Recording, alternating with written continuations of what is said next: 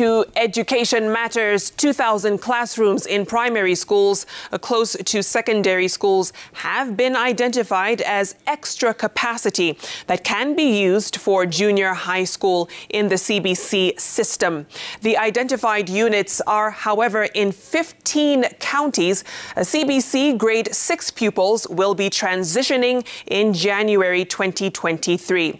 Education Cabinet Secretary Professor George Magoha says the government will top up CBC trained teachers to schools that will have been merged. And as Emily Chebet reports, Magoha says he will hand over the ministry with proper guidelines on the transition process that he believes will be smooth, with every child expected to get an equal opportunity in joining junior high school. 6,500 CBC classrooms have been completed countrywide, awaiting more than 1 million grade 6 pupils who are set to transition to junior high school come January 2023. According to Education CS Professor George Magoha, construction of 3,500 more classrooms will begin in July and will be completed in four to five weeks.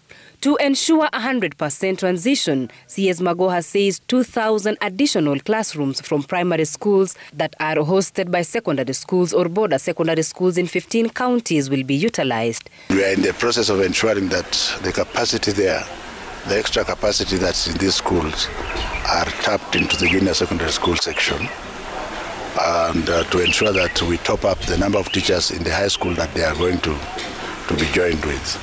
Speaking in Nairobi after commissioning two classrooms at Buruburu and St. George's Girls High Schools, the CS said the government is ready to place all children in public schools. But parents have an option of taking their children to private schools that have promised to deliver 5,000 classrooms.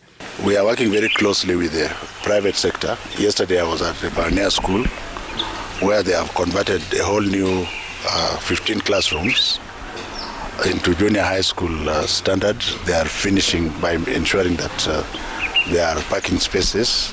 We do not expect the cutthroat competition that comes with the standard 8. Now, yesterday I gave you a home task. Magoha saying the ministry will encourage parents to take their children to the nearest schools, adding that they are all equipped with CBC trained teachers. This meant to address the reality of schools that are more popular than others. If Kenya High School has uh, only 200 slots and it had 10,000 applicants, so we apply affirmative action. We are also still playing around with the fact that for schools like Pangani and Kenya High School, the ones that are so popular, do we allow them to have a day wing for junior high school purposes only? Each school, according to the CS, has at least one classroom ready. Two more classrooms from the selected schools will be constructed from the 4 billion Kenya shillings allocated for the second phase in this year's budget. This, Magoha says, will boost the number of pupils to be admitted to junior high in public schools. Emily Chebet, Citizen TV, Nairobi.